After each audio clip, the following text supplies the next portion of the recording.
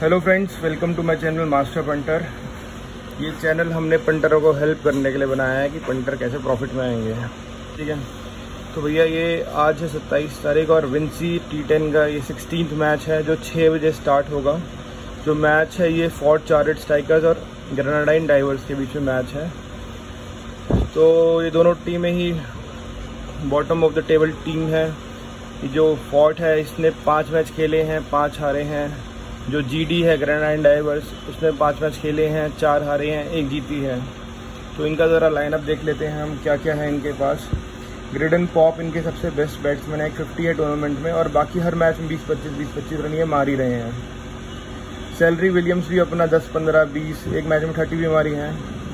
Return लाविए bowling batting दोनों करते हैं बैटिंग में अपना दस, पंद्रह रन मार देते हैं ठीक ठाक बैटिंग करते हैं। किरण किरण जो इनके कैप्टन है वो एक ऑलराउंडर हैं। बॉलिंग में बहुत अच्छे परफॉर्मेंसेज हैं इनके। दो ओवर में सात रन, आठ रन, पंद्रह रन मैक्सिमम पंद्रह रन दिए हैं अभी तक। बॉलिंग में बहुत अच्छे परफॉर्मेंसेज हैं। ओपनिंग करने भी आए हैं, पर नहीं दे पाए हैं परफॉर्मेंसेज बैटिंग में कोई परफॉर्मेंस नहीं आया है किरण कटॉय से। अब आपका ये सी एस स्टोव एक आधा छक्का मारना हो तो ये मार सकते हैं। बाकी बॉलिंग डिपार्टमेंट में देखा जाए तो आर जॉर्डन और आर फेडरिक ने एक दो मैचों में परफॉर्मेंसेस दिए हैं। तो बॉलिंग में ठीक है इनका, किरण कटॉय आके अपने मिडिल ओवर्स में दो ओवर निकाल देते हैं, ऊपर जॉर्डन फेंक लेते हैं और फेडरिक फेंक लेते हैं।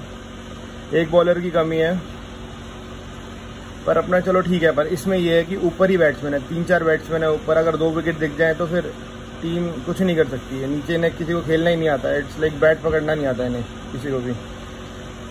और पाँच के पाँच मैच ये हारी है। ध्यान रखना ग्रेडन पोप ओपनिंग करते हैं। Sealroy Williams, Kirton Lavia. एक ये रेंड्रिक विलियम्स करके ये ओपनिंग करते हैं, पूरे लप्पे बाज हैं, अगर आगे बॉल मिल जाए, छक्का मार देंगे, छोटी बॉल मिल जाए, इनसे टच नहीं होने की। ठीक है? तो ये इनका स्क्वाड है, क्रिडन Pope, Sealroy Williams Kirton Lavia किरण इसके, इनके बारे में हमने काफ़ी सुना है कि बैटिंग अच्छी करते हैं, पर परफॉर्मेंस दे नहीं पाए तो चार बैट्समैन मानता हूँ मैं इनकी टीम में, चार बैट्समैन है। बॉलर ठीक है मतलब अपना रोक देते हैं टीम को अस्सी, पचासी, नब्बे तक। दूसरी टीम की तरफ़ चलते हैं ग्रेनाडाइन डाइवर्स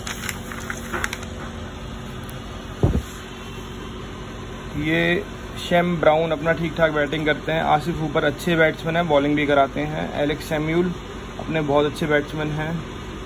बाकी सब नीचे कोई बैटिंग नहीं कर सकता। ऊपर के तीन ही बैट्समैन हैं इनके पास। ऑबिड मोकॉय अच्छे बॉलर हैं सीपीएल में इनके अच्छे परफॉर्मेंसेज हैं, पर इस लीग में परफॉर्मेंसेज आ नहीं रहे हैं नो बॉल फेंक रहे हैं, छक्का खा रहे हैं, उन बैट्समैन से इनको बैट पकड़ना नहीं आता तो समझ नहीं आ रहा क्या दिक्कत है इनके साथ। बाकी ऊपर के तीन ही बैट्समैन हैं इनके पास, कल भी क्या था मैच में, इन्हें 98 रन चाहिए थे कुछ। पैंसठ पैंसठ रन पे इनका एक विकेट था, और आसिफ ऊपर और सैम एलेक्स सैमिल खेल रहे थे। 24 बॉलों पे 30 एक रन चाहिए थे।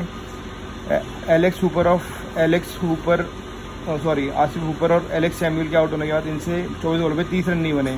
तो जो बैटिंग ऑर्डर है, इनका यहीं तक लिमिटेड है। नीचे तो कुछ नहीं है। इन्होंने पाँच मैच खेले हैं, एक जीते हैं और चार हारे हैं। एक मैच जो जीते हैं उसमें इन्होंने 114 रन बनाए थे, जिसमें आसिफ ऊपर और एलेक्स सैम्यूल की अराउंड 80 रन की पार्टनरशिप थी। तो बैटिंग यही है इनकी। ऊपर दो, तीन बैट्समैन हैं इनके। उसके बाद नीचे कुछ नहीं है। दोनों टीमें टक्कर की लग रही हैं। टक्कर देंगी एक दूसरे को। मैच दोनों तरफ़ घूमना चाहिए जहाँ तक है। और आपको मैंने कल भी बताया था कि यहाँ पे कोई भी जो स्कोर है 85 से ऊपर कोई भी स्कोर अभी तक चेज नहीं हुआ है विंसी लीग में। तो अपना कोई भी टीम जिसने भी भैया चार ओवर में पैंतीस रन बना लिए हैं, उस पर पैसे लगा के बैठ जाइए, क्योंकि वो रोते रोते अस्सी पचासी रन बना लेगी। अस्सी पचासी रन बना लेगी वो टीम और अगर आप पंटिंग कर रहे हैं तो पंटिंग को एज अ बिज़नेस लीजिए, इसको इसको एज अ इमोशन मत लीजिए। इमोशन कभी नहीं लेना, इसको बिज़नेस लेना है पंटिंग को।